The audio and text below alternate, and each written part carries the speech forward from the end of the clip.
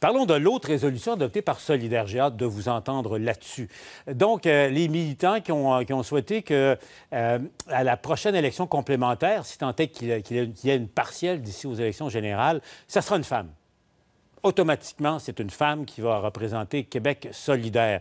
Pour ou contre cette idée-là? Luc, d'abord? Complètement contre. Et si j'étais une femme, je serais contre. Écoute, c'est comme me dire, écoute, tu vois, tu vas avoir une bonne chance parce qu'on a bloqué les hommes. Je trouve ça.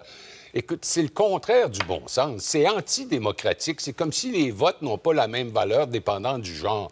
Puis en plus, avec Québec solidaire, ça se complique parce que là, il y a les binaires, les non-binaires, un domaine dans lequel je suis d'ailleurs complètement perdu. Bon, bien, M. Lado-Dubois, un peu à l'avance, euh, il y a quelques heures, euh, T'as écrit, Luc. J'ai l'impression qu'il y a une connexion entre euh, lui et toi. C'est remarquable. Calmez-vous, qui dit. on va voir son, message sur, euh, sur, X. Donc, on se calme, on se calme, dit-il. Le Québec, c'est à peu près 50% d'hommes. Vous le voyez. Bon, On veut changer ça et pour y arriver, on va présenter des femmes si jamais il y a des partiels dans la prochaine élection. Puis moi, je vois aucun problème avec ça. Elsie, t'en dis quoi?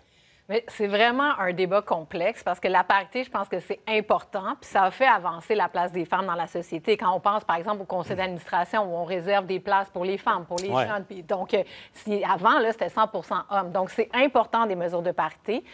Si j'étais à Québec solidaire, ça va aussi sous le sens, parce que Québec solidaire, je pense que l'article 1, si c'est pas 2, là, mais en tout cas dans les premiers, c'est Québec solidaire est un parti féministe. Donc, eux, ils peuvent pas concevoir qu'il n'y a pas assez de femmes dans leur caucus. L'autre chose, ben, c'est parce que c'est un... là où je suis pas d'accord, c'est que c'est comme un manque de confiance envers leurs instances et leurs militants. Parce que c'est les militants qui ont placé des hommes à cette mais dans Jean Talon, dans Jean Talon... Euh, c'est ça. donc, c'est les militants qui ont. Donc, là, il y a quelque chose qui ne fonctionne pas. Les militants, c'est comme si tu dis les militants sont pas assez lucides pour placer les bonnes personnes. Donc, on va leur imposer.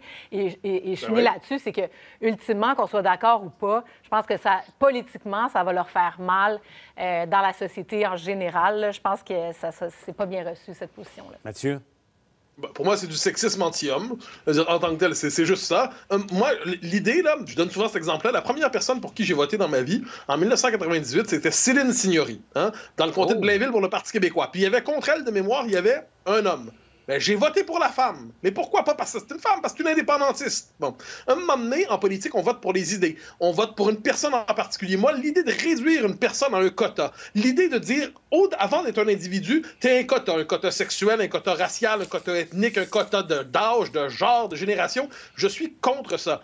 Je suis pas surpris que ça vienne de QS. Je constate d'ailleurs, euh, LC a tout à fait raison, qu'ils font pas confiance à leurs militants. Donc, ils se disent, puisque les militants sont pas assez évolués, on va les rééduquer. Juste pour être certain qu'ils font de la même manière, on va être autoritaire. On va leur imposer un quota. Moi, je m'excuse, mais imaginons une circonscription très particulière. Il y a un cas particulier, et là, il y a un homme de grande qualité qui se présente. Puis, désolé, c'est un homme. il aurait peut-être voulu être autrement. C'est un homme. Puis, à côté, pour différentes raisons, c'est une femme de qualité, mais qui n'est pas à la hauteur. Ça aurait pu être l'inverse en passant. Ça aurait pu être une femme d'une telle qualité que l'homme, on dit, dégage, mon bonhomme, c'est pas toi ce moment qui compte. Hmm. Mais imagine un scénario où tu as vraiment qualité de candidat fort. Mais non, tu peux pas, mon vieux. Désolé, dégage, parce qu'on choisit le sexe avant de choisir la compétence. Je trouve ça absurde, enfin, absurde pour moi, mais tout à fait cohérent avec la logique de QS. C'est une des nombreuses raisons pour lesquelles c'est pas ma religion. Vous,